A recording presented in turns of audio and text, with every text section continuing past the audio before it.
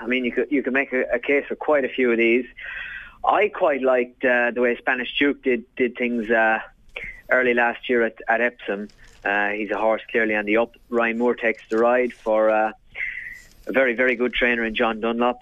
Um, should go on the ground.